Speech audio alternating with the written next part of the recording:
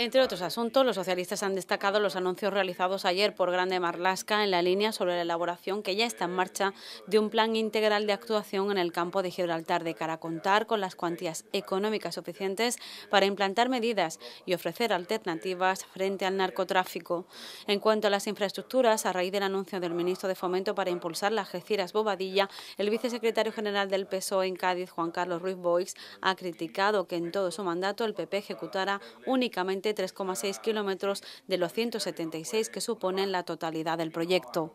Nos gustaría que el periplo de Rajoy, que en tiempo fue muy similar, siete años de gobierno de Zapatero, seis años y medio de gobierno del señor Rajoy, y nos gustaría que en esos mismos periodos hubiésemos contado con 60 kilómetros ejecutados. Y la realidad es que únicamente ha ejecutado, y todavía está en obra, 3,6 kilómetros. 3,6 kilómetros supone un 5% del volumen que ejecutó el gobierno de Zapatero.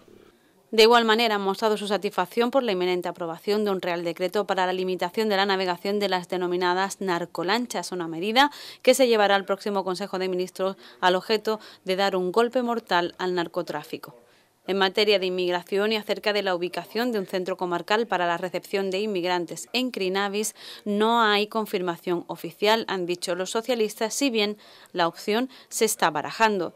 Y en otro orden de cosas, el diputado socialista Salvador de la Encina se ha mostrado optimista respecto al próximo quinto decreto marco de la estiva. Se abre un plazo de seis meses para que el reglamento pueda ser aplicado y con ello cerrar el quinto acuerdo marco de la estiva que estaba paralizado porque no se posibilitaba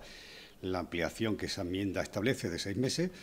y también los convenios de puerto a puerto. Por tanto, yo estoy convencido que ahora con una nueva presidenta de Puertos del Estado, nombrada el pasado viernes, con la predisposición absoluta de ANESCO, con el que el Grupo Socialista ha mantenido un encuentro la semana pasada, el sector de la patronal de la estiva